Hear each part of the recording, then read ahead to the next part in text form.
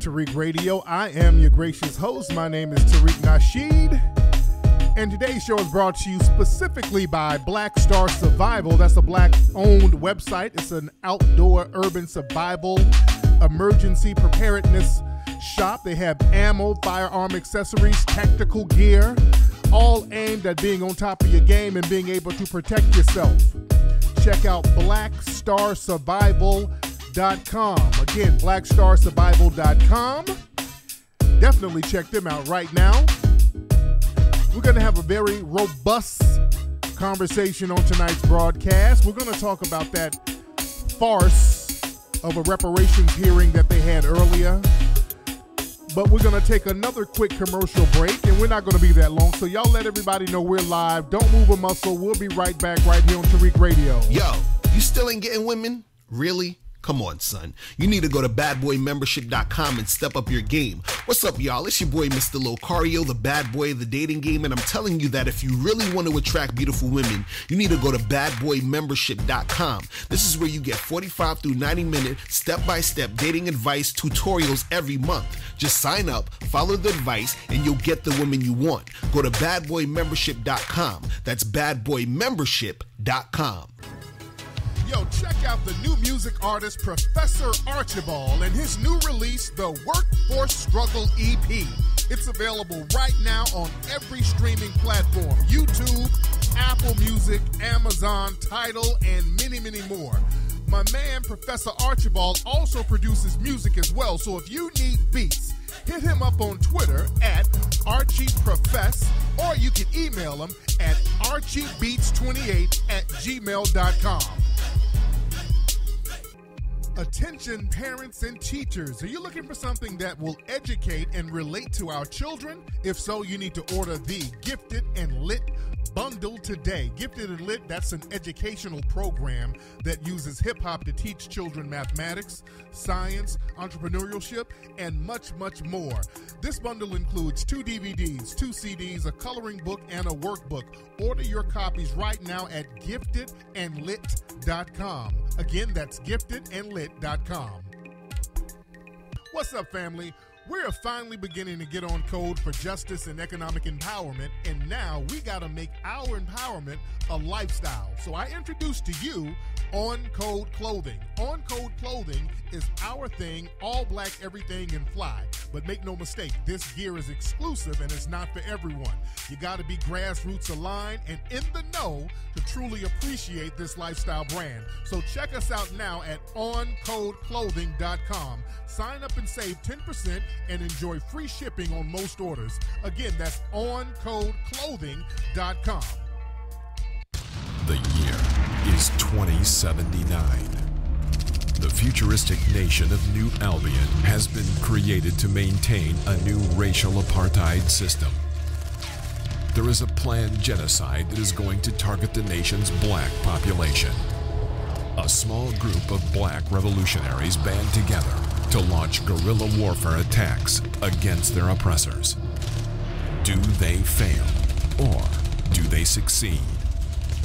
Find out the answer by reading the book Avoid the Machines, the new novel by author Scotty Vasco. Avoid the Machines. Now available on Amazon and BarnesandNoble.com. You are now tuning into the legendary Tariq Nasheed I gave a little blood on that bridge in Selma. on Tariq Radio. I said, whoever threw that paper, your mom's a hoe. Yo, what's going on, family? We're here.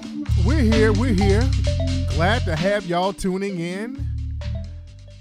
Glad that y'all stayed up late with me tonight on this Juneteenth day. Today is Juneteenth. And unfortunately, the Democrats turned it into Coonteenth because there was a lot of coonery, buffoonery, a lot of butter biscuits being passed around earlier today. All the butter biscuits were all over the place today, family. It's been one hell of a day, man. I've been up early watching these hearings. I hope you guys have seen the reparations farce that we've all been warning y'all about. We've been warning everybody about this reparations hearing that they were going to have. We already knew from the outset that it was going to be a sham job. We already knew. We were pointing out the people involved, you know, with Sheila Jackson Lee and all the language they were using even before this thing popped off. They were already talking about, well, we ain't really focusing on payments for reparations. So we already knew, but the the trash and the sham and the garbage was just more immense than we ever imagined. It was Babel Fest. It was just like we predicted. I told y'all it was going to be a whole bunch of truth and reconciliation talk. Everybody talking about their feelings and how bad racism is and how bad black people have, has had it in this country. And, they, and another thing they would try to do, they kept trying to put racism in the past. They kept the whole narrative they kept doing. They kept trying to talk about how bad slavery was and how bad black people had it for a short period of time and then it got better after civil rights. This was the, the kind of this was the narrative they kept spinning they kept talking about, well, up until the 50s, up until the 1960s, black people had to go through Jim Crow and all that stuff before we had civil rights. They act like civil rights erased all the anti black hatred. So the whole thing again, it was that like we predicted, it was going to be a bunch of let's talk about feelings, how how we feel about being mistreated. There was one they were they were bringing all of these Democratic and Republican shills on there and one thing you have to understand there's no difference between a Democratic coon and a Republican coon. They had right and left wing coons out there. That's the thing. We've been sleeping on these Republican and Democratic coons. The Democratic coons are just as bad. The left wing Democratic coons are just as bad. And usually the Democratic coons are nine times out of ten they get immigrants to be the Democratic coons. I want y'all to notice that the Republican coons are generally old school, homegrown Jesse Lee Peterson types. That plantation, they're, they're, holdovers from the plantation, but those are usually the older ones or they're domestic bedwenches. But the Democratic coons are usually the immigrants they get these people. They understand that there's a lot of immigrant coons who are aching to get them some butter biscuits, and they'll throw us under the bus. So they know how to how to fish from that immigrant coon pool. They know there's a whole pool of immigrant coons that's just chomping at the bit to throw us under the damn bus. They know that, and they know how to help them erase their background so they can mix in. This is why we got to be very careful about people who are coming out to the forefront supposing supposing to represent us. We got to look into people's background when they're trying to speak for foundational black Americans. But with this whole farce, this whole thing was the Democrats trying to get a black agenda on their resume. This whole farce is going to be their black agenda. This whole talking in circles, nothing burger ass reparations hearing that didn't talk about any solutions, anything tangible. It didn't talk about doing anything for black Americans. They're going to use this on their resume. So when they're running next year, when they're campaigning a little harder, they're going to be like, well, we talked about Hispanic issues. We talked about black issues. So we didn't ignore black people. We talked about black issues, right? We had a whole big old reparations hearing for black people. So we're not ignoring black people. We had a we had a whole big old thing for black people. Um, he was involved, N'COBRA was involved. Sheila Jackson Lee. I mean, th- th- this is this is how we care. We had this big old meeting about black people. That's how they're going to try to frame this, guys. This is how they're going to try to flip and spin this train wreck that happened today. This was a damn train wreck. Don't let them spin this as if it's some type of positive because that's what they're going to do. This was a nothing burger. This was disrespectful.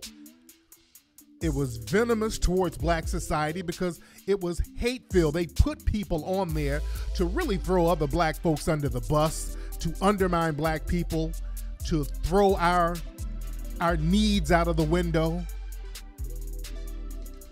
We we can't uh, I don't think we fathom how disrespectful this filth they put on today was to black Americans. This was extremely disrespectful to black Americans. And I want to play a few clips. I don't want to play too many because again, it was just a bunch of nothing burgers. Um, you had a whole ma- hash mashup of random ass people too. You had people on here that was extremely random. They had some former football playing coon who nobody really knows, Burgess Owens. And again, they get these people because they they've already coon vetted them. They made sure that they're nice and coonish. Then they had Danny Glover on here. He's Sambo babbling. He ain't really saying nothing. Then they had Ta-Nehisi Coates on here. He was just kind of being neutral to a certain degree. He's not saying anything. And they had this Coleman Hughes guy on there, some random dude whose only purpose was to go on there and shit on black people. But it was a mashup of of nitwits, losers, clowns, and coons. Then they had a couple of white people on there talking about what would Jesus do? They literally had a white woman on there talking about what would Jesus, how would Jesus feel about reparations? Would you go to Native Americans and Jewish people talking that type of talk? They wouldn't do that in a million damn years. These people think so lowly of us. Thank goodness there's a new generation of awakened black people out here that's not going for the okey doke. And shout out to all the black people who were outside and also inside because people were inside booing the hell out of those folks with all that coonery. Shout out to the brothers and sisters that was out there really giving them that work. A lot of the people showed up and they were opposing the fuckery there. But they were trying to run that game. But let me play a a few short clips. I don't want to get too too much into a lot of the coonery that was going because they weren't really talking about nothing. Now, this one guy, this is Burgess Owens, and he was a, he's a right wing coon, and he's talking.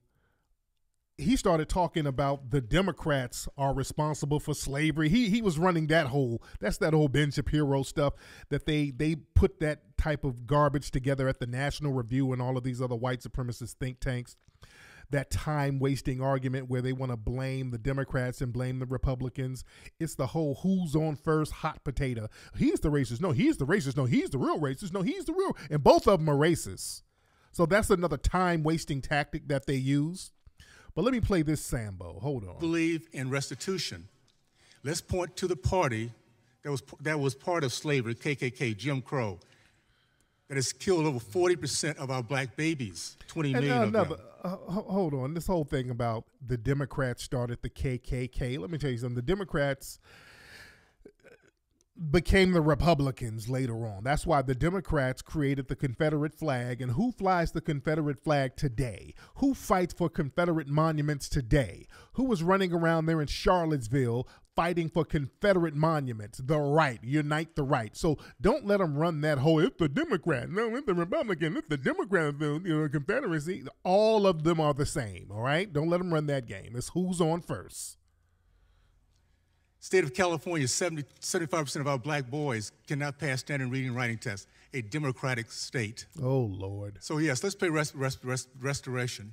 Read the, read Let's the, play the, rest, restitution. Wait, wait, did this nigga wait? This nigga said respiration. hold on, I didn't care. Hold on. Rest, restoration. Let's let's play restoration.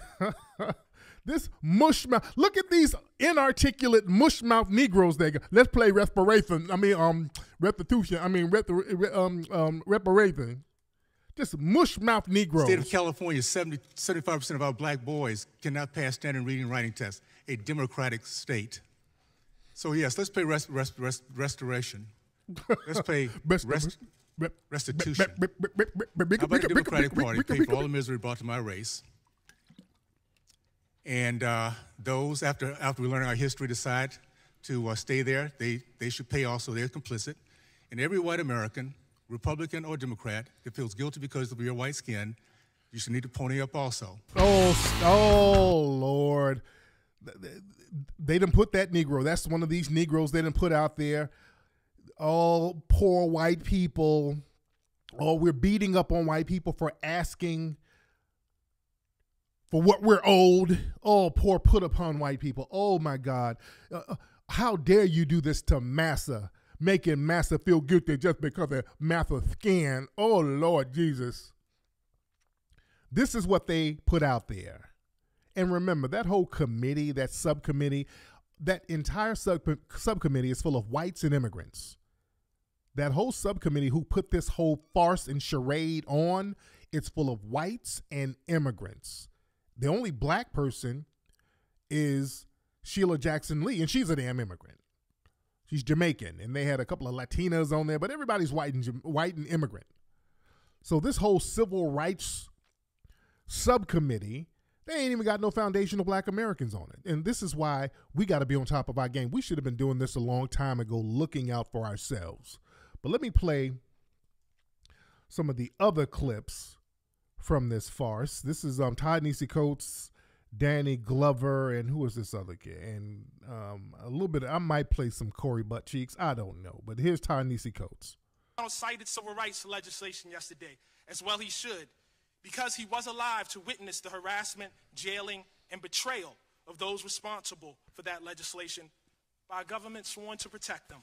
The matter of reparations is one of making amends and direct redress but it is also a question of citizenship. In H.R. 40, this body has a chance to both make good on its 2009 apology for enslavement. Uh uh And see, this is the. This whole truth and reconciliation, we're going to make a whole big deal out of apologizing. I don't give a damn about no apology. I, Just give me some money. Give me what's owed to me. Give me mine. Give me what's owed to me. I don't need no damn apology. See, when when black folks come around, then everybody starts talking about how you feel and emotions and all that. No, no, no, no, no, no, no, no. Just just let's break that cheddar off. Let's get that money flowing. And reject fair weather patriotism. Justice and uh, everybody again, and I, I didn't play the, the part where he was talking about. Even he was talking about, well, it doesn't have to be checks in the form of payments. It could be blah blah. No, no, we need the check. We need money. We need payments. We need cash. I want the cash. I want the gold. Give me the gold. I don't want to hear all that stuff. And now we got Danny Glover I don't know what Danny Glover was talking about. He was all in he was in the color purple mode. I don't know what Danny was he was babbling through the whole thing. I don't know what Danny nobody knew what the hell Danny was talking about. Bless his heart. And I think there was some pictures of Danny Glover. He had dozed off. I'm like, if y'all don't get this man some warm milk and let him take a nap, what are y'all doing with him out here? This is a shit show.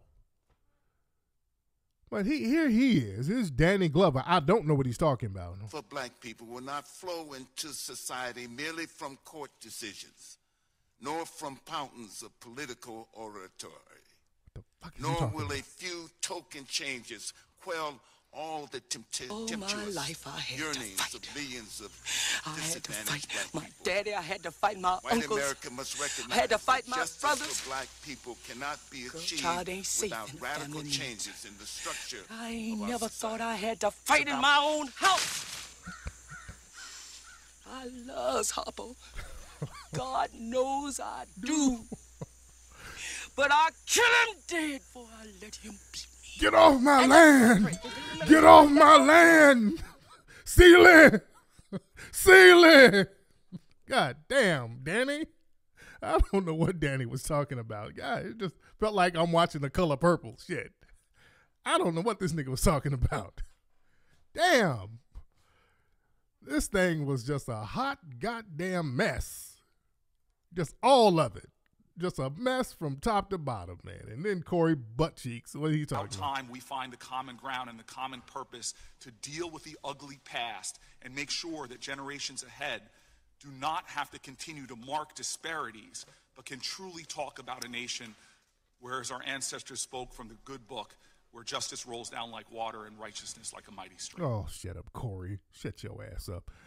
Uh, so they were this they were just doing a whole mashup of let me put my Mackin music on. Excuse me, guys. They were just this is what it was about. All this just non-stop babbling, talking in circles, trying to be all poetic, never getting to the point and that was by design. The whole design of this was to just be confusing, as unfocused, as non-specific as possible. This whole thing was all about being non-specific and just all over the place. That was by design. But what really a lot of folks are talking about this one guy, this Coleman Hughes. Now he really put the syrup on the butter biscuits this guy, Coleman Hughes, and nobody knew who the hell he was. He just some random Negro who's some freelance writer. I mean, just completely an, an obscure Negro who nobody knows. I mean, they could have had so many other qualified people there. You could have had Brother Claude Anderson, anybody from the Hidden Color series. There were so many other people they could have had up there to really articulate this matter and just get right to the point but it's it's not about getting to the point and making sense that would be too much like right there's a reason why they got danny glover and all of these damn mush mouths out here they don't want to make it an articulate conversation this is why we have to stay on the grind as far as that this is why we have to stay on the grind. There's some people. How come you didn't go up there, man? They wouldn't let me. Uh, if I went up there, they wouldn't let me in that damn building. Y'all know good and well they wouldn't let me in that building. Because let me tell you something. I'd get a check that day. I'd be up there getting right to the damn point. I'd be up there. I'd come out with a check for y'all ass that day. I wouldn't be playing at all. I ain't going up there talking about my damn feelings. I wouldn't leave that building till somebody gave me some money. I know how to get some fucking money. Ain't no they better not let me up in that bitch. I'm getting you some money, y'all. I'm like Johnnie Cochran. Johnnie Cochran, he he got some shit done. Johnnie Cochran will get the gold. I'm gonna get you some money. Let me get up there talking. I ain't leaving that building until I get a check from for somebody. I'm gonna get right to the point. Well, how you feel? How would Jesus do? Jesus told me to come get this money from your ass. That's what Jesus told me. Now, do I get the checks on the first or the second floor? Because they look like they got checks on the on the first floor. So which elevator do I take to go down to the check place? Cause I ain't here for no feelings, talking about no damn no Jesus and no kumbaya. I ain't here for no minority coalition. I ain't here for none of that. I'm not here to talk about how bad racism is. You know what it is. It's payday time right now. We we need an emergency fund right now. I need it right now so I can go take it to, to the people who need it the most. We need a justice reparations fund right now. I'm not here to play games. I wouldn't spend five minutes talking in circles about my damn feelings. We about to talk business. It's business time. But this one dude, Coleman Hughes, he was really throwing them butter biscuits all up in the air. And let me play this guy and a lot of people were very critical of him. They were booing his ass in the whole nine yards. Where's this Negro? All right. And by the way, this dude is a Democrat. Now, this is a Democratic coon. All right. This guy is a Democrat. This just shows you the vitriol the Democrats have for us. And by the way, when you hear people like this, when you hear Negroes like this being placed in certain positions to speak on important issues, always understand that it's the white supremacists talking and this is just their Negro puppet. Let's never forget that. Let's always keep that in mind. Understand that it's the white supremacists who's putting this Negro out to speak for them. That's why he's such a random unknown Negro that don't nobody know. It's the white supremacists putting their bought and paid for Negro out here. So this is Coleman Hughes. Mr. Coleman Hughes is a columnist for Quillette and has worked as a freelance opinion writer since January 2018. He's had pieces published in the New York Times, the Wall Street Journal, the National Review, the City Journal, and the Spectator. He's studying philosophy at Columbia University, and we appreciate your attendance, and you're recognized for five minutes, sir. Thank you, Chairman Cohen, Ranking Member Johnson, and members of the committee. It's an honor to testify on a topic as important as this one. Nothing I'm about to say is meant to minimize the horror and brutality of slavery and Jim Crow. Racism is a bloody stain on this country's history, and I consider our failure to pay reparations directly to freed slaves after the Civil War to be one of the greatest injustices ever perpetrated. Uh, now, catch that. Now, I want y'all to notice something. Notice they said he, he writes for the National Review. So this this is some white supremacist think tank that has written all of the talking points for him. Okay, so all of his talking points are written by white supremacist think tanks. Now you heard what he just said. It's horrible that they didn't give black people reparations right after slavery, as if it's just too late now, and it's not too late. It's never too damn late by the U.S. government. But I worry that our desire to fix the past compromises our ability to fix the present. Think about what we're doing today. We're spending our time debating a bill that mentions slavery 25 times, but incarceration only once, in an era with no black slaves, but nearly a million black prisoners. A bill that doesn't mention homicide once, at a time when the Center for Disease Control reports homicide as the number one cause of death for young black men. I'm not saying that acknowledging history doesn't matter. It does. I'm saying there's a difference between acknowledging history and allowing history to distract us from the problems we face today. In 2008, the House of Representatives formally apologized for slavery and Jim Crow. In 2009, the Senate did the same. Black people don't need another apology. We need safer neighborhoods and better schools. We need a less punitive criminal justice system. Oh, Lord, that criminal justice system BS, which gives the impression that all black people are criminals. See? Whenever it talks about, we're going to help black people with criminal justice reform, but that gives the assumption that we're all criminals. It's white supremacist talking point. Always catch that. We need affordable health care. And none of these things can be achieved through reparations for slavery. Yes, they can. They're booing him. Nearly everyone close to me, nearly everyone close to me told me not to testify today. They told me that even though I've only ever voted for Democrats, I'd be perceived as a Republican and therefore hated by half the country. Others told me that by distancing myself from Republicans, I would end up angering the other half of the country. And the sad truth is that they were both right. That's how suspicious we've become of one another. That's how divided we are as a nation. If we were to pay reparations today, we would only divide the country further. Oh, stop. This is this whole we're gonna make white people uncomfortable. That here that's that coon babble. We just gonna make white people uncomfortable. We're gonna divide it, we're already divided. These people are blowing our brains out in the damn streets, nigga making it harder to build the political coalitions. Oh, that coalition they uh, divided coalition. They got them using all those coon buzzwords. The coal we ain't no damn coalition.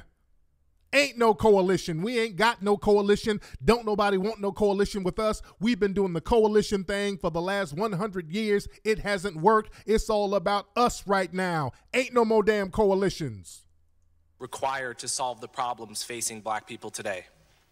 We would insult many black Americans by putting a price on the suffering of their ancestors. No, you wouldn't. They booing his and we ass. would turn the They're booing him. No, you're not going to insult me. Insult if you're going to insult me, insult me. Then give me a good price. Insult me. Putting a price on the suffering of the answer. No, that's not going to insult me. That's going to respect our legacy. relationship between black Americans and white Americans from a coalition into a transaction. What coalition? This nigga keeps talking about a damn coalition. There is no coalition. Black folks don't have time to wait on no coalition from the dominant society. Some coalition that ain't never gonna happen. If the coalition was gonna happen, it would have happened already. It's a one-sided coalition. We're trying to appease every damn body. Ain't no coalition. Damn that. It's money time. Let's let's hand that bag over right now. Yes, let's get a transaction. Yes. That let's correlate that. That's going to be our coalition. Let's make that transaction. That's the only relationship we do need to have. A transactional relationship. That's the only relationship they have with us. Unless we're giving them money or spending money on something that they have, they don't want to deal with us. They don't come around us unless they're making money off of us. Nobody comes around us unless they're exploiting us financially. Our presence here has always been transactional. Slavery was transactional. They made money off of us. Give me some of that damn money back that you made off of us, nigga. From a union between citizens into a lawsuit between plaintiffs and defendants. What we should do is pay reparations to black Americans who actually grew up under Jim Crow and were directly harmed by second class citizenship. People like my grandparents. No, people like us. Jim Crow was just the name of public policies. Jim Crow was the name of public policies of common law. We're under a Jim Crow style system now. We're under a Jim Crow system now. And now it's worse than Jim Crow. More black people get killed now by race soldiers and state sponsored vigilantes than Jim Crow. More black people have been killed in the last few years than the entire Jim Crow era. We need that paper. But paying reparations to all descendants of slaves is a mistake. Take me, for example. I was born three decades after the end of Jim Crow into a privileged household in the suburbs. I attend an Ivy League school. Yet I'm also descended from slaves who worked on Thomas Jefferson's Monticello plantation. So reparations for slavery would allocate federal resources to me, but not to an American with the wrong ancestry, even if that person is living paycheck to paycheck and working multiple jobs What the hell do you mean the wrong ancestry? What he's trying to say is immigrants. Oh, he's trying to say immigrants. It would a person who has the wrong ancestry. He means immigrants.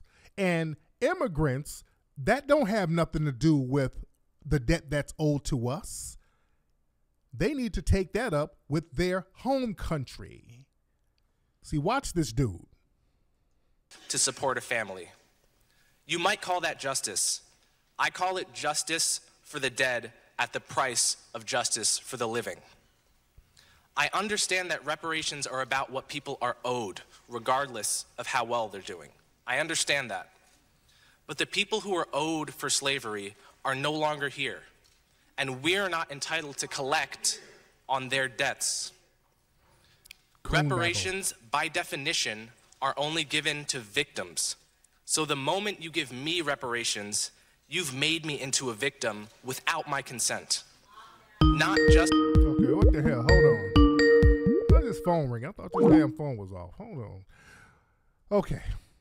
When they start talking like that, just let them know. We are victims. See that they try to shame you by talking that victim talk. Well, you you're acting like a victim. Damn, you're acting like a victim, and you let them know I am a victim. I'm a victim of white supremacy. Yeah, I have no problem with that. I am a victim. We are victims of white supremacy. I have no problem with that title whatsoever. I've been victimized by systematic white supremacy. I am a victim of white supremacy. We are victims. We're victimized now. We're under the threat of death whenever we walk out of the house. We're under the threat of systematic death Everywhere we go, when we walk out of the house, we have state sanctioned terrorists working for the government who can kill us with impunity. We're under the threat of murder with impunity every single day. And these people are incentivized to kill us, harm us, disenfranchise us. We're under the threat of unemployment, gentrification. We're under the threat of harm on a daily basis. That we are victimized on a daily basis. We are victims. You're not gonna shame me. That don't. You're a victim. You're a victim. Yeah, I am, nigga. I am a victim. Yes, I am. See, they try to go after your ego why don't you stop being a victim? Well, why don't you stop being a victimizer? But yeah, we are victims. 100% victims. Just that, you've made one third of black Americans who poll against reparations into victims without their consent.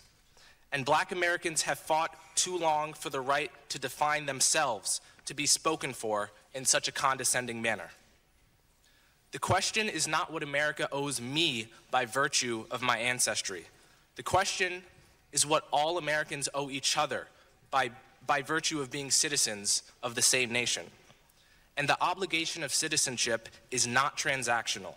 It's not contingent yes, it on is. ancestry. Yes, it is. It never expires and it can't be paid off. Yes, it can. For all these reasons, Bill H.R. 40 is a moral and political mistake. Thank you. Thank you, Mr. Hughes.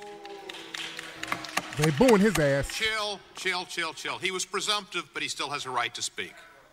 Uh, Mr. Burgess Owens is recognized. Okay, so that's enough of that coon babble. Okay. Now this this dude, Coleman, Coleman Hughes, he mentioned that part of his family come they came from the Thomas Jefferson plantation from Monticello. I don't know how true that is because I'm looking up some information about his dad.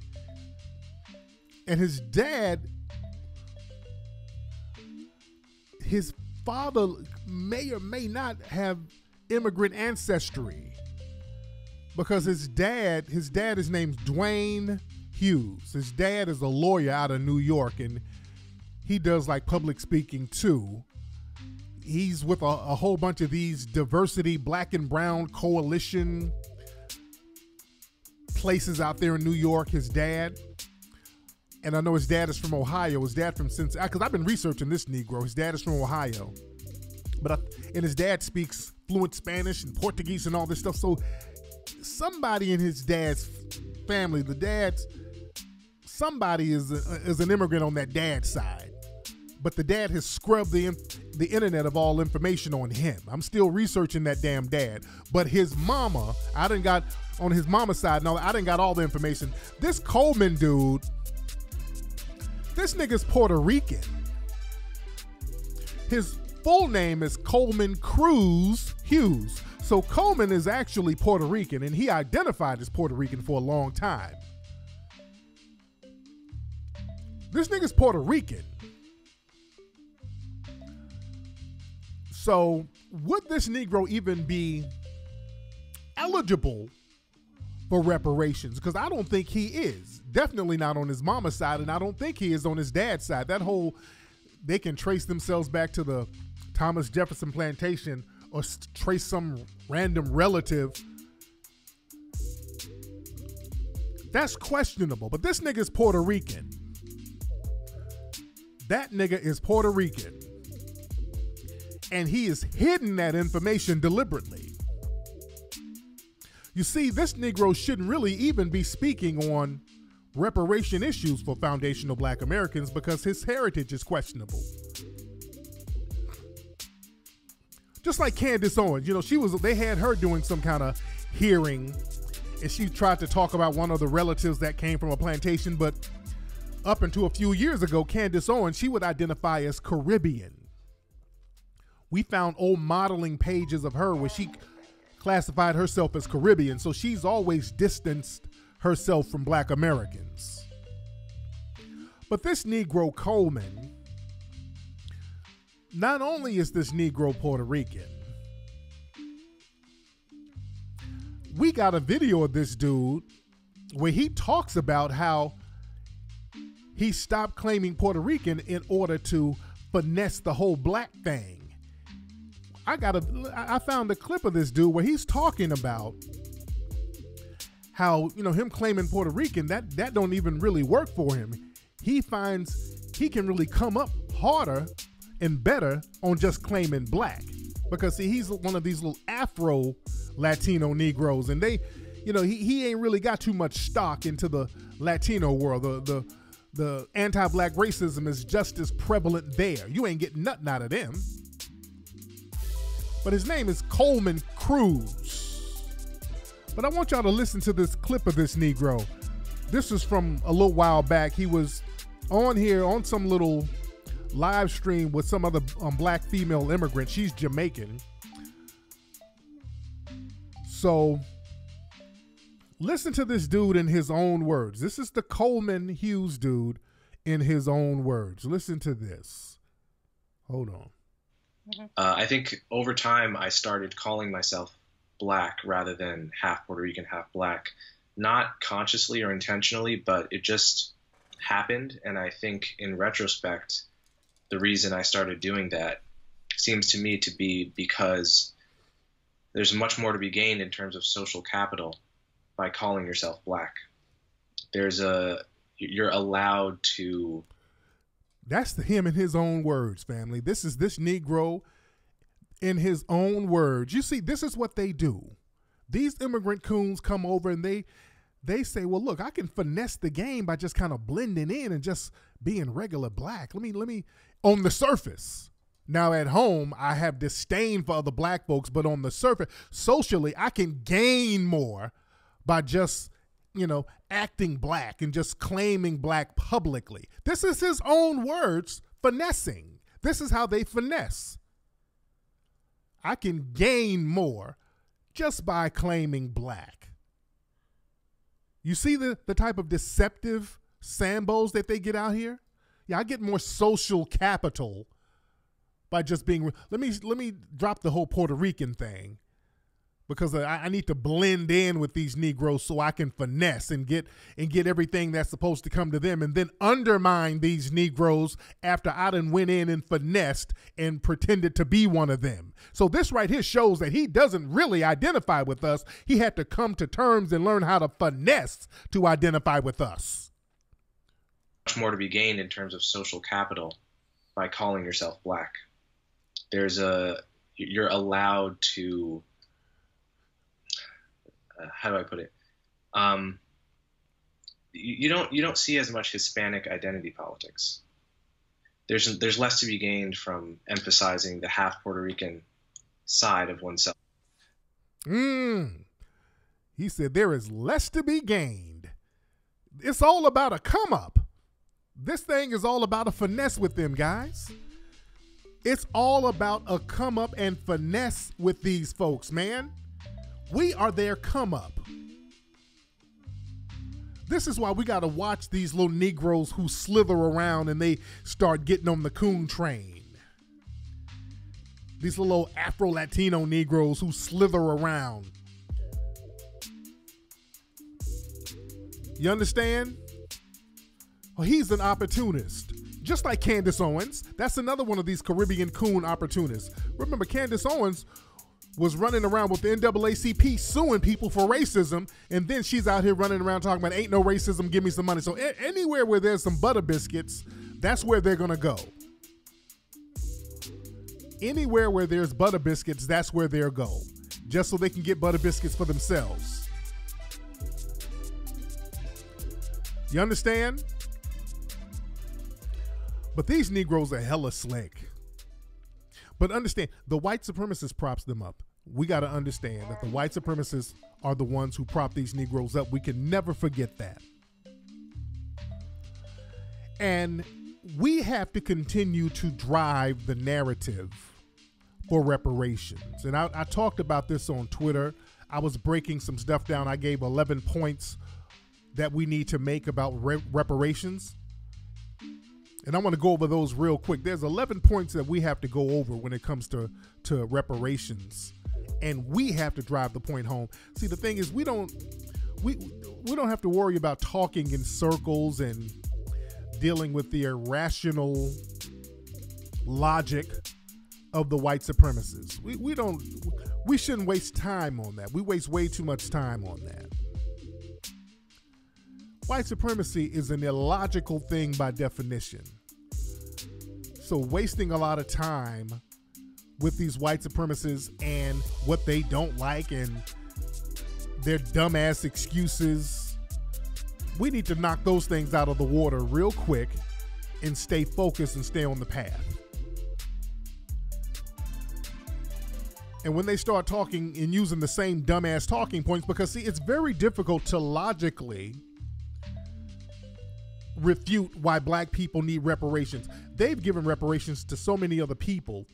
No other group in the history of mankind, and I'm telling you this, deserves reparations more than foundational black Americans. What we've gone through, what we've accomplished, creating the wealth of an entire nation and being brutalized in the process and nonstop brutalization afterwards that has never ceased and we've never been compensated for it. No one on the planet deserves reparations more than foundational black Americans, and everybody knows that. Everybody knows that. So, what happens is they start deliberately talking dumb. Notice their their talking points are just dumb. One of the first talking points is, well, I never owned slaves, so I'm not responsible. Well, the problem with that is slavery, it was sanctioned by the federal government. So all that I'm not individually responsible. No, no, no, no, no. You are subject to the government. The government kept us enslaved, kept my people enslaved.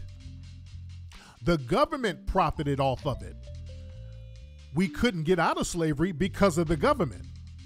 The government was militarily backed, so if we tried to run away, they would catch catch us and beat us and put us back in slavery. The government and the whole system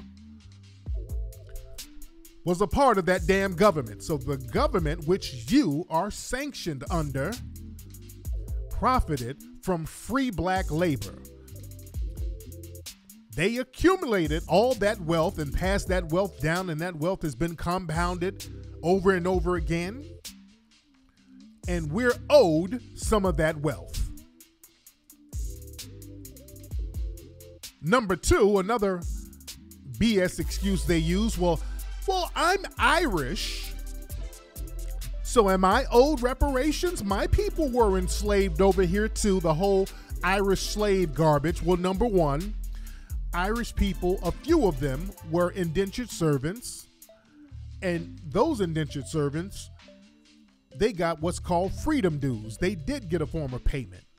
They didn't leave them ass out. They got freedom dues, which was money, guns, and land.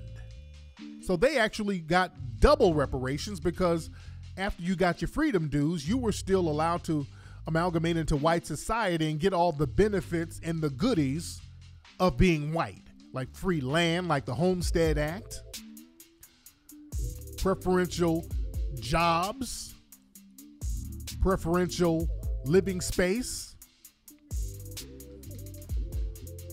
So the Jim Crow era was one long big affirmative action plan for white people. So you did get your own. And also, just by you coming over here by choice, that was a come up because over in Ireland, y'all were living like fucking flies. Y'all were broke, starving, dusty, full of head lice, eating potatoes. So you're welcome. Now, what another thing they like to say, number three, how would we determine who qualifies for reparations? It's, it's just so confusing. That whole we don't know how to figure it out. And that's a that's another con game. They know how to figure it out.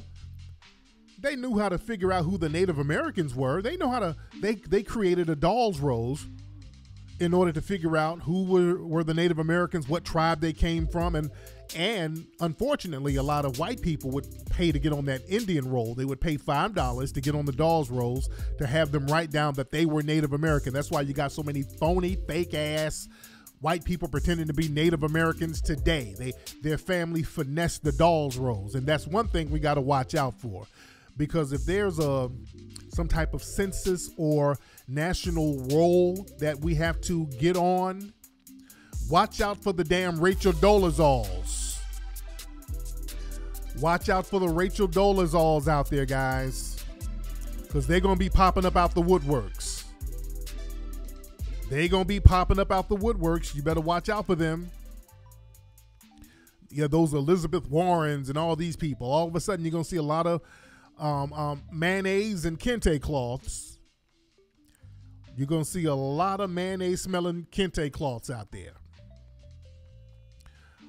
But it's easy to find out who's owed reparations if you can trace your family back to a plantation then you you can qualify. It's just that simple. It's not hard. It's not hard to figure out, and that's fairly easy to trace your family back to a plantation or the early census rolls because a lot of black people are on the 1870 census. That's when they started to take the census for a lot of black people starting in around 1870.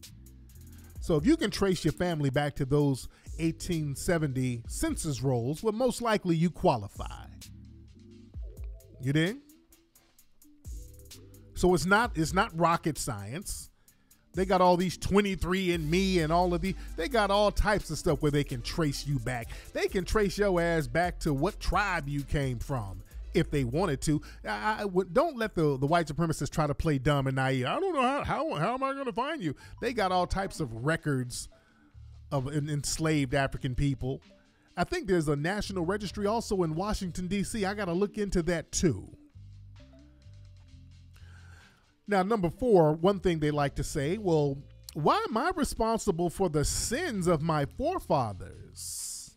Why am I being punished for the sins of my forefathers? See, they love to praise their forefathers when it's convenient. They love to brag about what their forefathers did when it's convenient, but then you want to run away from all that exploitation your forefathers did. Your forefathers profited for their sins. And the profits for the sins, they were passed down generationally to you. And these white supremacists, they've racially locked in all those profits away from black people. Now it's time to unlock some of that. I don't care about the sins of your fathers, the profits he made from those sins. See, I don't care about the sin part. See, they like to talk about the sins and the moral. Damn that.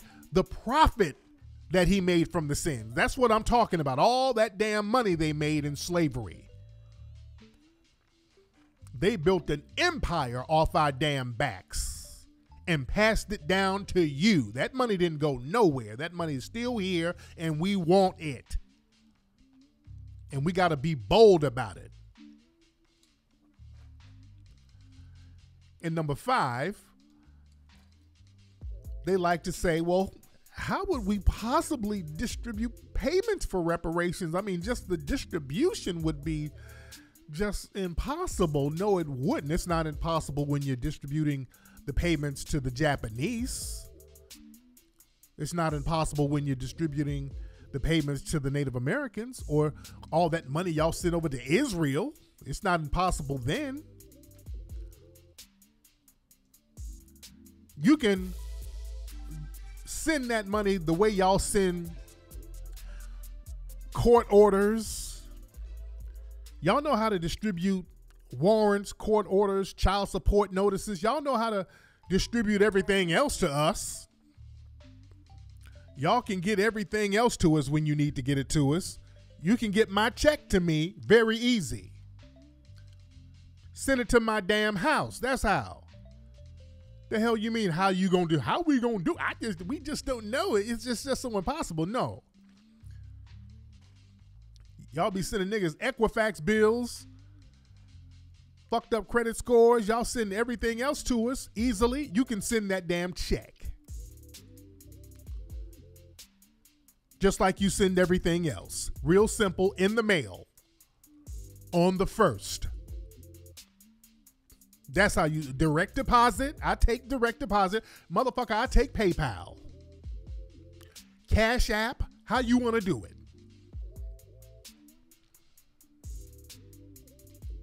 Y'all can send a repo letter to a nigga real fast, but now you don't know how to send that paper. No, no, no. Get that paper to me. You know how to do it. Now, number six. Well, what about immigrant groups who came over after slavery? They were mistreated too. That's that Mitch McConnell. He was talking that. He was talking about what about immigrants? What about them? They ain't got nothing to do with us. Immigrant groups don't have nothing to do with a debt that's owed to us. They have zero to do with it. Well, they be struggling. Well, damn it, they weren't struggling that hard, they wouldn't come over here. They came here voluntarily. If it gets so bad, they can go back home. This is our home. Ain't no go back to Africa. No, no, no. This is our home here. We don't have a home in Africa. We don't. This is our home here. We don't have nowhere to go back to. This is our place right here that we built. Because understand this nobody brought us to America. Because I've heard people try to use those terms. But when when black people were brought to America, no, we were never brought to America. There was no America when we got here. We built America. We came to a damn wilderness. What nothing here. We built America. Always remember that. They didn't bring us to no damn America. We built America. Always get that clear. We were the only people that didn't get brought to America. We built the damn place. This is our home. We have more entitlement to this home than anybody because we built the damn home. All these other people immigrated from somewhere. We did not.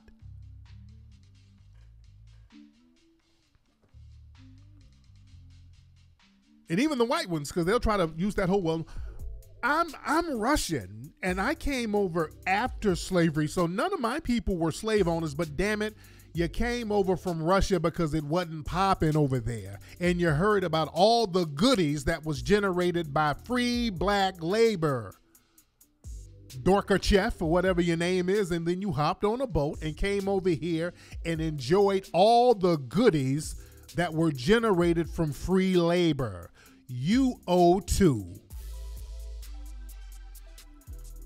So have you some Russian vodka and let's get that check popping.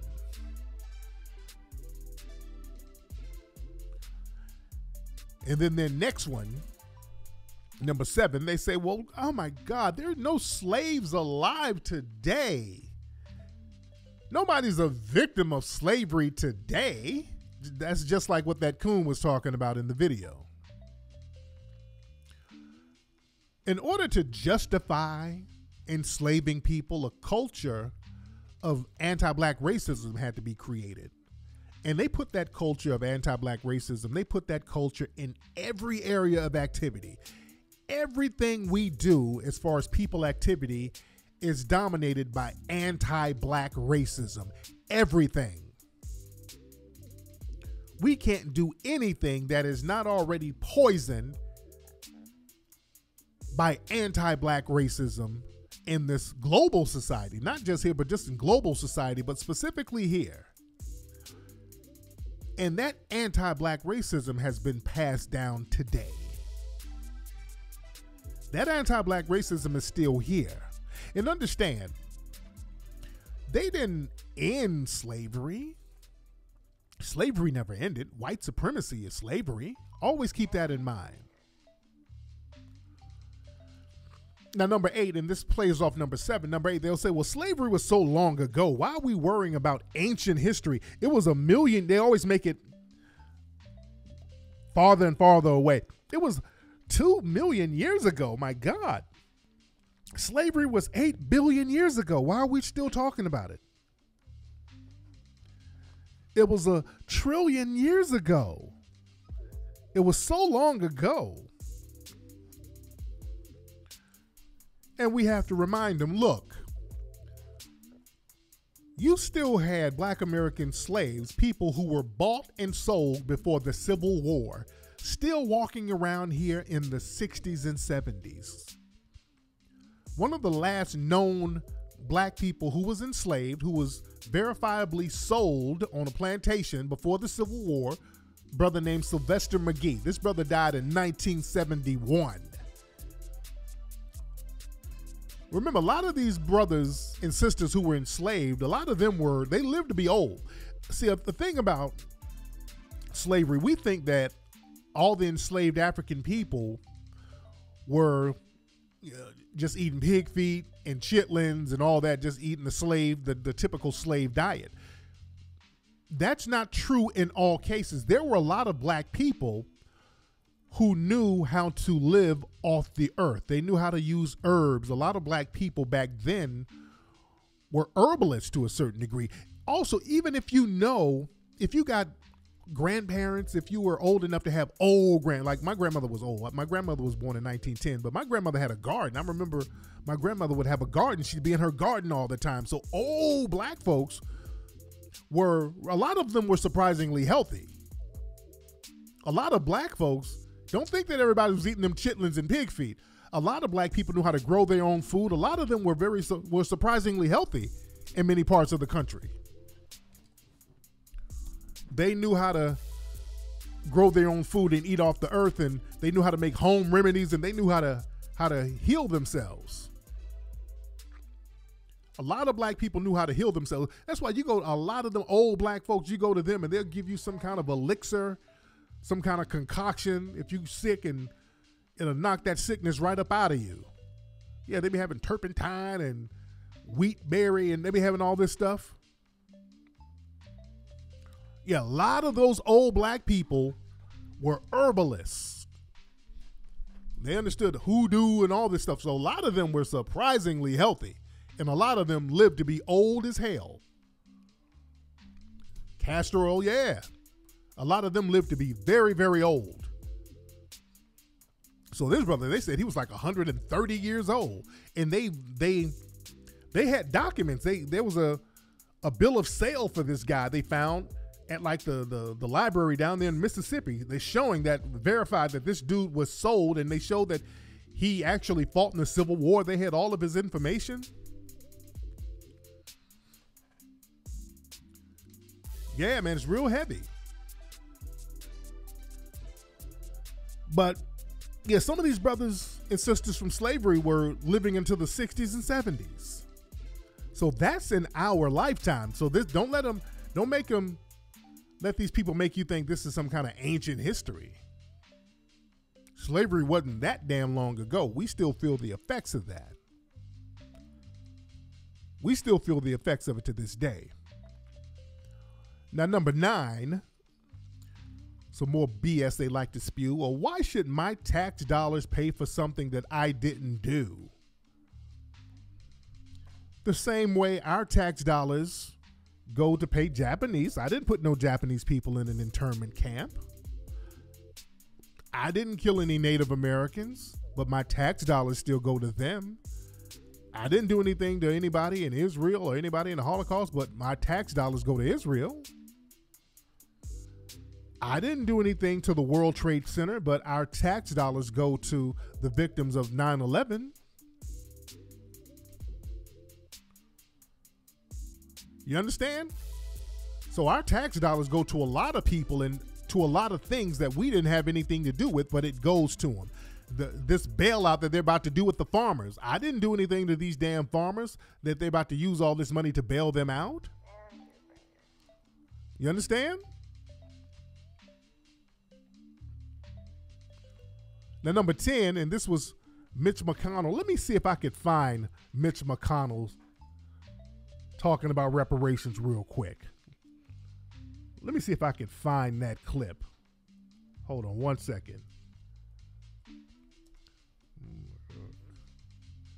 I want to find that because he was oh he he had disdain in his voice when he was talking about reparations. Okay, I think this is it right here. Uh, okay, let me see if this is it right here. A big hearing on Capitol Hill will raise the issue of reparations for slavery. This on Juneteenth, the day commemorating the end of slavery in the U.S. Hold Chief on, Congressional on, correspondent Mayor Bruce it? Okay, is here there it is. covering. Okay, hold on. deal with our original, okay, you know, tried. Hold Nation referencing President Obama. Take a listen. We've you know, tried to deal with our original sin of slavery by fighting a civil war, by passing uh, landmark civil rights legislation. Uh, we've elected an African American president. Mitch McConnell went on to reference the fact that no one currently okay. alive was responsible. For- oh, he, he. This is Mitch McConnell. He said that reparations was Obama. We elected a black president, so that's reparations right there. That just illogical um, plantation master babble, mayonnaise babble. That ain't nothing but mayonnaise babble right there. Talking about Obama was our reparations. Let me see if I got the whole clip of him doing all that splaining. Hold on, where's the whole clip? I want to find that whole clip. Where's that? Where's that clip? I be posting so much stuff on my social media. Hold on, let me see if I can find that. Okay. Uh, look one more time. Okay. I can't find it right now, and I don't want to waste time. Okay, I'm, I'm scrolling through all my stuff. Okay, now I can't find it. I, can't find it right now. But he was talking about Obama being a form of reparations for us. And then he said Civil War. That's that gets me to number 10. The Civil War was reparations. And I broke down this Civil War garbage before. Number one, we all know, and the white supremacists know too. Let's be very clear. All of these dumbass talking points that they throw out, they know that it's a crock of BS, but the name of the game is to waste your time. The name of the game is to completely waste your time by by white splaining and mayonnaise babbling and throwing out these talking points that's completely asinine and illogical so that you don't talk about things in a logical manner. Now they understand that the Civil War had nothing to do with them giving a damn about in the, the enslavement of black people. The Civil War was about keeping the Union together they tried to give the impression that white people in the North felt some kind of moral duty to fight to free black people in the South, and that is the biggest crock of BS ever, and they know it. The minute they announced the Civil War, white people in the North went around in the streets and started killing random black people in New York. Look up the draft riots. When these white people in the North found out they had to fight the Confederacy, they started to attack random black people. This was before the Civil War even started. And after the Civil War, these same white Union soldiers, these white people in the North, they committed a genocide out there in Mississippi at the Devil's Punch Bowl. They killed thousands of black people in a concentration camp that they never talk about in history down in Natchez, Mississippi. They don't like to talk about that. It was a bunch of white Union soldiers who put black people in concentration camps and killed black people off by the thousands. Y'all look that up. Look up the Devil's Punch Bowl out there in Natchez, Mississippi. And look up the draft riots in New York. Google all this stuff I'm talking. See, they don't teach y'all this. So don't ever let them run that game about the Civil War was about helping us and it was some damn reparations. They owe us three times for the Civil War. They owe us for slavery. They owe us for the damn draft riots. They owe us for that concentration camp down in Mississippi. They owe us for all of that. And remind them of that whenever they bring that up. That shuts them right the hell on up.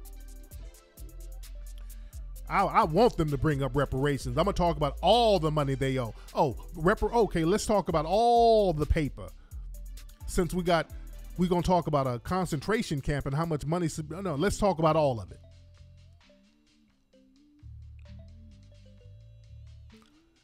And number eleven, finally, and, and let me get back to number ten for before I get into number eleven and speaking of the Civil War, before I get to number 11, the Civil War, look, slavery was abolished by name. I want y'all to understand that. See, we got to look and see how this thing really is and not let the white supremacists control the narrative. We have to always control the narrative. that shows power. When you can control a narrative, that shows power. And what we're doing now with this whole reparations thing, we're showing power because we're maintaining the narrative. They're desperately trying to control the narrative, but we are controlling the narrative of this reparations con- um, conversation. But slavery, they never got rid of slavery. They got rid of the name and then expanded slavery. They just got rid of the name slavery and expanded the practice of slavery. So, what they did in 1865, instead of just relegating slavery to plantations, they said, hey, we got to make the entire society a plantation. So we don't have to have these little bitty borders here and there. No. We are going to make society a plantation. And the prisons, that's going to be greater confinement. See, we just think it's just the prison. No, they decided to make all of society the plantation. So they created all those black codes. So your blackness is going to be the prison. Your prison is going to be your skin color. So no matter where you go, you're in prison. You can run, you can hide, you can make however amount of money you want to make, but you're still in prison. And in prison, we can do anything to a prisoner. We can beat you, maim you, lynch you, rob you, which is what they did to free black people. That's why all the lynchings happen after slavery. Do y'all know that? Most of the lynchings happen after slavery. Because, see, on the plantation, when you could buy and sell a black person, the plantation owner would give you a certain level of protection from outside society. So you only had to deal really with that one slave master. You understand? But when you're outside, the confines of just that one plantation. Now you're in a whole society where everybody is a threat to you. See, we have to look at it like that, and that's how it is then, that's how it was then, and that's how it is now. We're in a global prison. This is why Neely Fuller talks about white supremacy as a global prison. So when you go out, we talk about how much money we make, how educated we are, and these race soldiers can come and gun us down anywhere we are. Because our skin is the prison. Now that doesn't make it bad. See, we, we think, okay, damn, white society has deemed our skin color a bad thing, so we must be bad people. So we internalize what they project onto us, but that's their insecurity. See, this is how we got to look at it. They're wrong, not you. See, this is what turns people into coons. You think, okay, something's wrong with me, therefore something's wrong with other black folks, so I need to appease white people. When you do that, no. You hustling backwards. You can never appease them. You're going to run yourself ragged. This is why you always have to work to destroy the system of white supremacy and replace it with justice. You got to be bold all the time. You always got to ride on them. You always got to bang on them. You're never supposed to be comfortable with these white supremacists. White supremacy is ungodly. You can't say that you believe in a higher being and you try to go along to get along with these damn white supremacists and their system. No, no, they have the problem. They have the problem. They are the people who are sick mentally and physically. I saw some footage of the Trump rally. He had a Trump rally down there. He just announced his his, his campaign down in Florida, and they were a lot of these white supremacists were going down there and a lot of people were making jokes and memes about some of the video footage because some of these people were coming from these little, you know, these little white supremacist enclaves all around the country. Shout out to Realist Talk for the the melanoid donation. Shout out to that brother. But some of these people were showing up to that Trump rally. Some of these white supremacists look half damn dead. You see how sickly and weird they look? They look horrible. And we were just in Vegas. Me and the family went to Vegas for Father's Day. I took the family to Vegas. We drove from California to Vegas. And you know, on the way to Vegas, if you're living in if you live in California, you you got these little hick towns. And in many states around the country, outside of the major cities, if you go outside into some of these little hick towns, these people it, it looks like the hills have eyes. There's always these weird ass white supremacists lurking around these places. And and I talked about this the other day on my live stream. We stopped in Baker, not Bakersville, but I think this town was Baker, California. One of these little places. We were driving and we stopped by a gas station and this on the way to Vegas. You know, it's one of these places where it's like one gas station, one McDonald's. So we go to the McDonald's and it's full of people, suspected white supremacists, and it smelled horrible. We went in there and it just smelled absolutely horrible. The customers stank, the employees stank, everybody was stinking. And me and my wife were looking at each other, kind of holding our noses. It wasn't Bakersville. No, it was Baker. It wasn't Bakersville. It's Baker, California.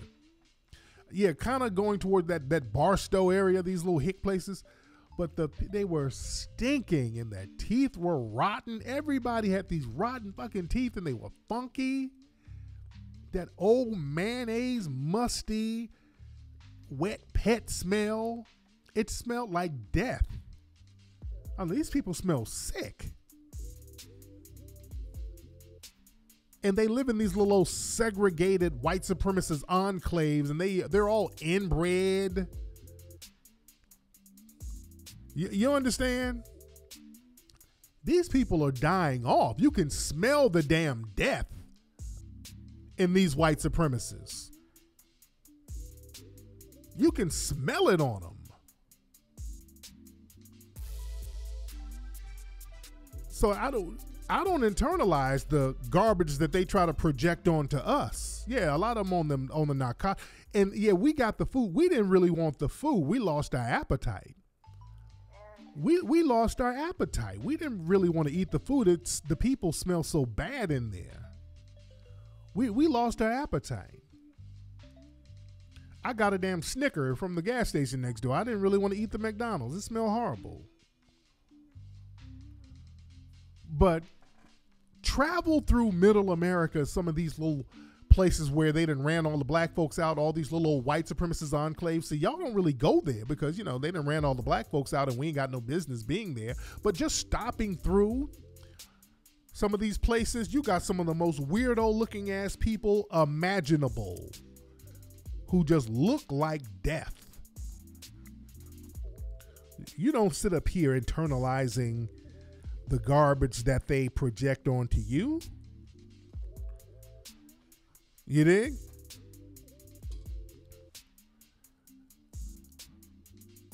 But let me go to number 11. A lot of people will use this excuse, and this guy, Coleman Hughes, he used this excuse when he was doing his, his talk at the hearing. They'll say something like, well, reparations talk will make white people uncomfortable. And that's a kicker right there. Because black people, we've been programmed to go out of our way to not make white people uncomfortable. We cannot make Lord Jesus, we can't make Missy and Massa mad. Lord Jesus, you can't be mad. You ain't mad, is you? I sorry, Massa. See, we got that mentality. We have this thing where we feel like we have to tiptoe and walk on eggshells so they won't be uncomfortable. And reparations talk will make them uncomfortable. Just like the dude in the video said. Well, that's going to make people feel, white people feel this way. Yes, reparations talk makes white people feel uncomfortable. This is the thing I don't give a shit. I don't give a damn how uncomfortable people in the dominant society feels. This ain't about feelings. They feel uncomfortable just about our damn existence. I don't give a damn about how uncomfortable somebody feel about me getting justice. If you feel uncomfortable about me getting justice, I can give less than a shit about you. You know what else is uncomfortable? Slavery. Being sold is uncomfortable. Being raped by a plantation owner is uncomfortable. Being buck broken by a plantation owner is uncomfortable. Getting your ass whooped because you didn't pick enough cotton is uncomfortable. Getting your foot cut off because you didn't pick enough tobacco is uncomfortable. Jim Crow was uncomfortable. Lynching was uncomfortable. Gentrification is uncomfortable. Racially based mass incarceration is uncomfortable. State sanctioned police vigilante murder is uncomfortable. There's a lot of stuff that's uncomfortable that we got to go through every damn day. I don't give a shit if a white supremacist is upset because I'm getting justice. Fuck him. Black folks, y'all that's one thing y'all better learn how not to give a damn about a white supremacist's feelings. That's slave talk, worrying about how the hell they feel. So the hell what? They already punishing us just for existing. No matter how nice you are, you go in there nice, buck dancing, tap dancing, smiling, grinning, and they still sit them here calling the police on you. Claiming to be uncomfortable. Damn that. Give me my money. I want a transactional relationship. Yes, like that nigga said. We we we're gonna mess up the coalitions and it's just gonna be a transactional relationship. You damn right. You better believe I want a transactional relationship. That's all I want. Give me my money. And truth be told, that's the mentality I have now. I don't look. I don't really want to be friends with anybody in the dominant society if they're not helping me produce justice. I don't believe in having friends who's not helping me produce justice. If you are in the dominant society and you're not helping me produce justice, I don't want to be your friend. Do y'all understand me? I don't want to be your friend if you're not helping me produce justice. The greatest sin in human history is happening right now, which is systematic white supremacy and anti black racism what the hell am I hanging around with you in the dominant society for if you ain't helping me produce justice? If you're not helping me, I'm not trying to be buddy buddy and cacan and kikiing with you. The fuck I want to hang with you for and you ain't helping me produce justice. And if we hang around, we, we better have a transactional relationship. We're making some kind of money, we're doing some kind of business, and that's helping me produce justice because it's empowering me. But I don't sit around lollygagging, cacan, and kikiing and all this shit with folks in the dominant society if they ain't talking about producing justice. If I'm around some people in the dominant society and they start getting on some white supremacist denial stuff, well, um, well, you know, I don't know, man. If, if the, the guy just the guy who got shot, now I don't think it's about race. He he he. If he just complied, uh, I ain't hanging with you. Some of y'all are laying up with some of these damn white supremacists. You in a, you all up in the bedroom with them, and they ain't producing no bit of justice, and you ain't getting them to. Yeah, the minute I get around somebody in the dominant society and they're talking all that low key white supremacist bullshit, we we have nothing to do with each other. The fuck I want to be your friend for? I got lifelong work to do your life's mission, as mine is, my life's mission is to find ways to produce justice to reduce to replace the system of white supremacy with justice. That's my life's mission. We got to wake up every day with that being our focal point. We got to wake up every day with that being the focal point. See, too many of us, we get up trying to figure out how to coon, how to throw another black person under the bus, how to buck dance, how to be the next bedwench or mammy for some damn body. See, a lot of us have that mentality. And that's a problem. That's a major problem.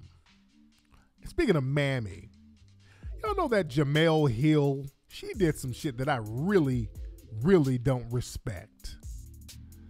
You know, LeVar Ball,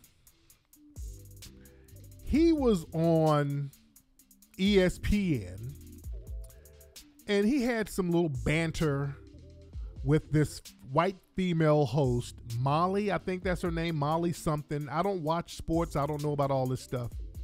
I don't know these people's names. Now, ESPN said they just announced today that they're not going to have him on the show because of something inappropriate he said. Now, he made a comment to this lady, and Jemele Hill immediately immediately made a tweet talking about Oh my God, LeVar Ball was so inappropriate. Shout out to Molly for keeping her composure with such.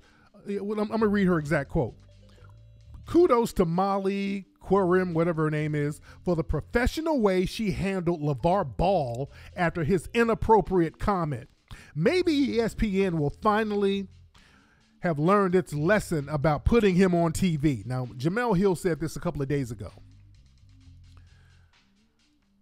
And today, ESPN said they're not going to have LeVar Ball on there. Now, they don't like LeVar Ball because he's very outspoken, he's very bold. Now, this is what he said. I want to play you what they said was inappropriate. This is on some I'm white and I say so, but this is what he said that was inappropriate. Listen to this. Hold on. LeVar, can I switch gears with you for because I have a question you here. You can switch gears with me anytime. Okay. Let's stay oh, focused Lord. here. All right. Um, can you please explain to me what the biggest? Go ahead. Go. LeVar, can... That was it right there, guys. That was the inappropriate comment right there. That was it right there. Some of y'all might be like, "What the hell?" Let me play it again. That's that. She said, "Well, look, LeVar, they were talking about sports." She's like, "Well, can I look? Can I switch gears with you for one second? He's like, "Yeah, you can switch gears with me anytime." And she kind of looked up, like, oh, okay, let's stay focused. She had the little white victim look in her eye. He's like, yeah, let's shift gears. So they made that into some sexual innuendo, which I don't. The dude wasn't making no damn sexual innuendo, but that they got black dick on the brain all the time. Anything we do, they got black dick on. Yeah, y'all missed it. Let me play it again. That was the inappropriate comment right there. They used some oh I'm white and I say so. She went into victim mode, rolling her eyes like oh oh, oh my God. And she's married to what? Ain't she married to a ball player, Jalen Rose or somebody? So she threw the white victim look on her face.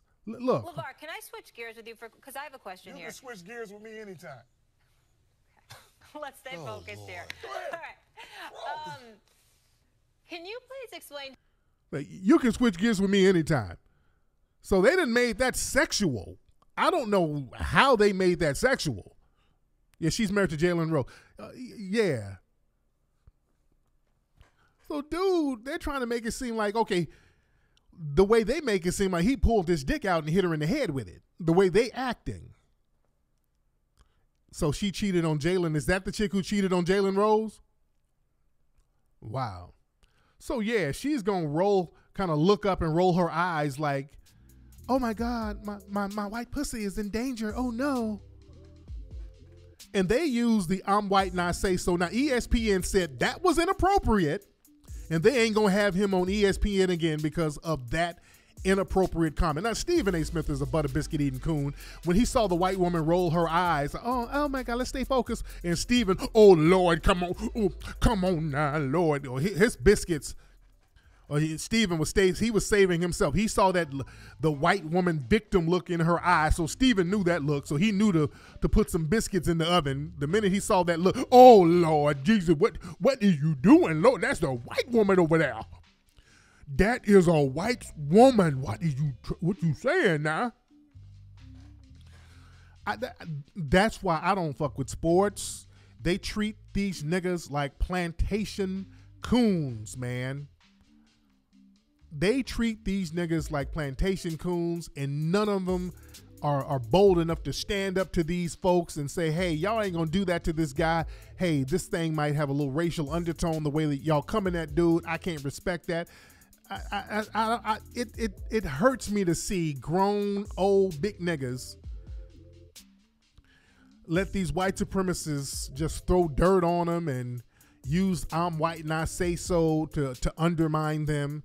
And and Jemele Hill, that was a sucker move for her to basically give a wink and a nod to the white supremacists by saying, "Hey, look, I'll y'all I'll let you use me to throw him under the bus. You can hide your little racism behind me." And Black Authority broke her ass down a few years ago her black anti-black male hatred. So he broke her shit down a long time ago. So she's she's campaigning to get a position somewhere. But it is what it is. But anyway, y'all, let me get up out of here, man. That's been today's episode of Tariq Radio. I've been on here for a minute. Been a long broadcast tonight. Anyway, man, Hidden Colors 5 in theaters all over the place. August 1st, go to hiddencolorsfilm.com to get your tickets. That's in a month. We got a month to go, August 1st. Get your tickets, hiddencolorsfilm.com. Go look and see which city it's going to be in near you and get your Hidden Colors 5 shirts.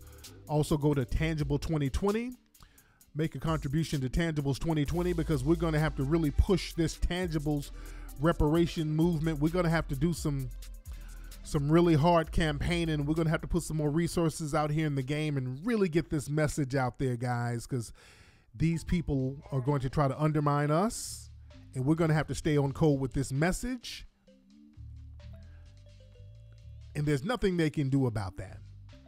And if they're not going to bring any tangibles to the game, we're not going to go to the polls for the Democrats. We will let them fall by the wayside we will change this whole political surface around, and we're doing it already.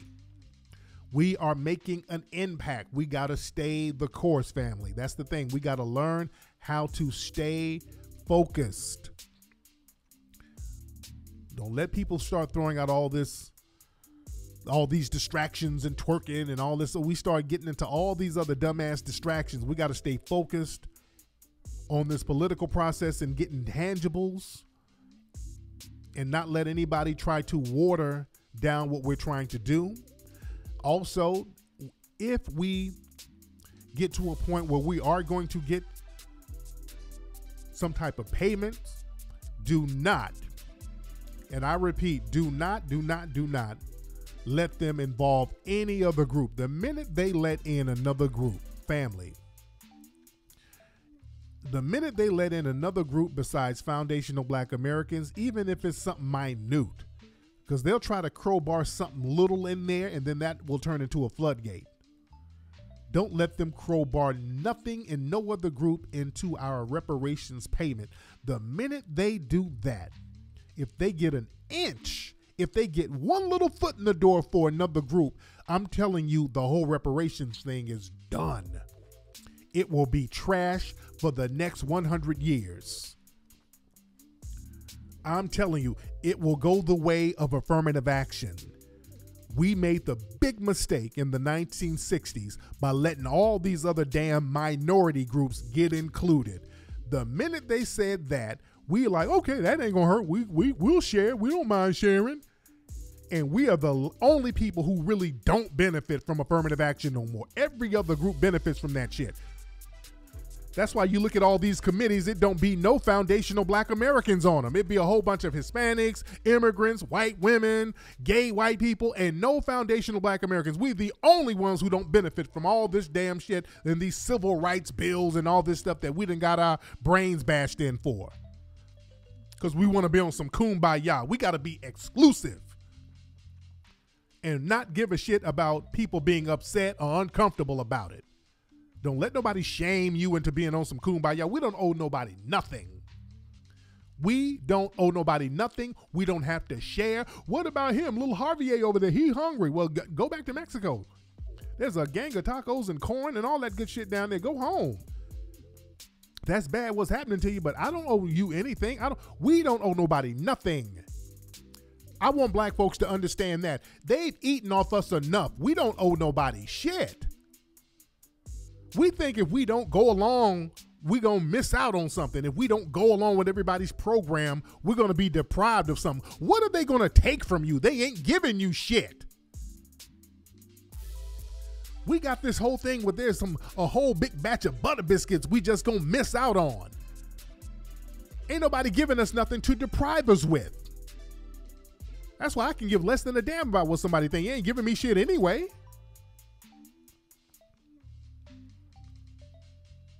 And understand, all these other groups, we are the prize. The, the Democrats, Republicans, immigrant group, we are the prize for all these other groups. Basically, all these other groups fight to see who's going to stand on our damn backs. That's all they do at the end of the day. They fight each other to see who's going to step and stand on our backs. That's what the political process is. The the right wingers, they step on our backs with the mass incarceration and they they profit off that and also just the sonic gratification of seeing us being subjugated. That's good enough to make them vote Republican. That's why all these trailer park, the hills have eyes hillbillies love voting for Trump and supporting the white supremacists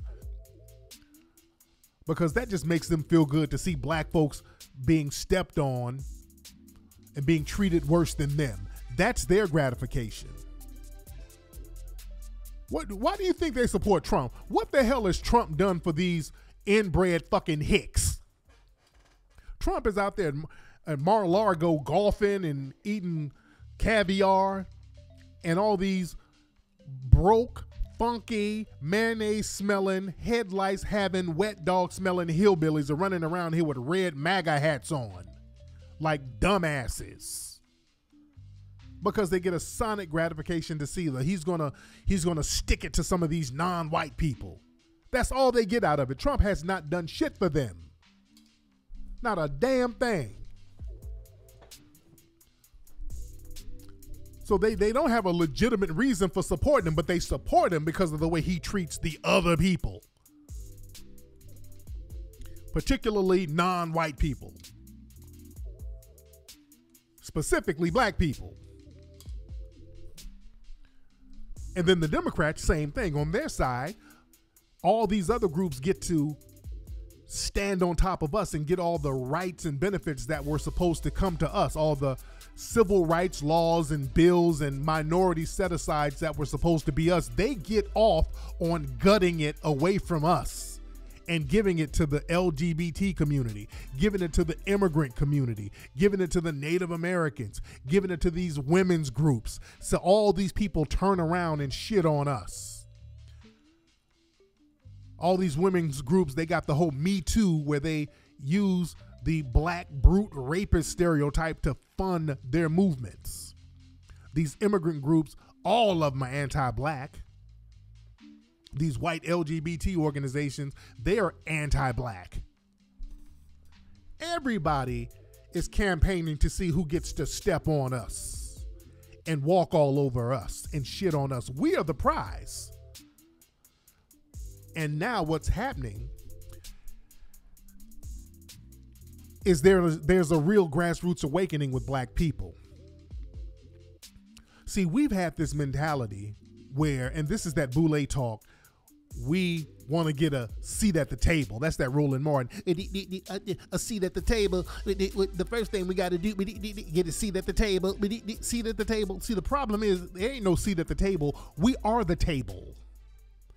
We've always been the table. We are the table, so everybody can set their plates on us and eat off of us. We're we're the table. So we've already been at the table, but they're eating off of us.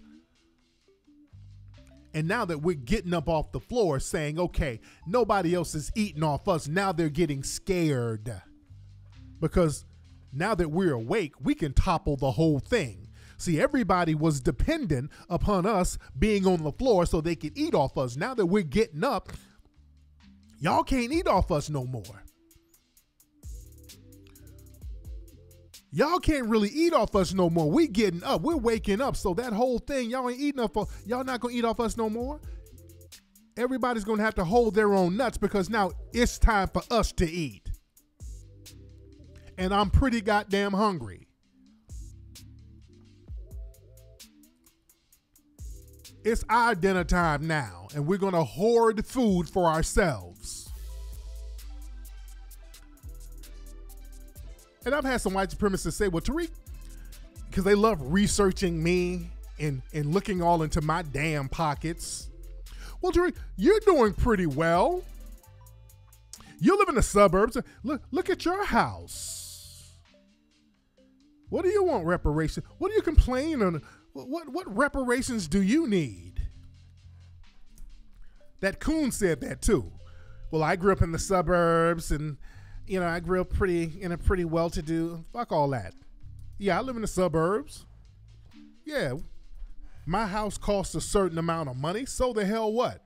I want more.